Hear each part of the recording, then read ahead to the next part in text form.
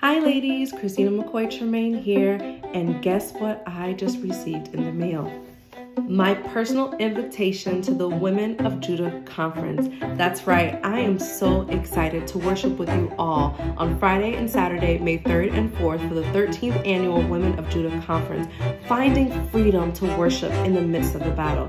Man, we're going to have a great time. I'm speaking it into existence. I'm also speaking your attendance into existence. Registration is open, so don't wait any longer. And if you're already registered, invite a friend. Bless somebody else if you're able to to attend. You don't want to miss this wonderful time. Listen, the word says where two or three are gathered, behold, he is in the midst. We are going to be gathered together, worshiping together, and praising the name of the Lord on high. So I want to personally invite you to come Come with the spirit of expectancy.